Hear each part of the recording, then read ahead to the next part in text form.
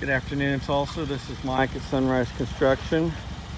We are working here today on the slab foundation for this uh, room extension of this house. You can see the screed going down right now. Help level out the uh, pour that is going on. You can see that the uh, project has been permitted and inspected, permitted and inspected with the uh, green tag showing it passed. All the rebar, the floor vents, the plumbing,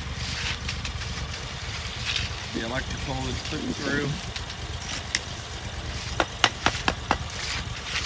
I'd love to build one for you.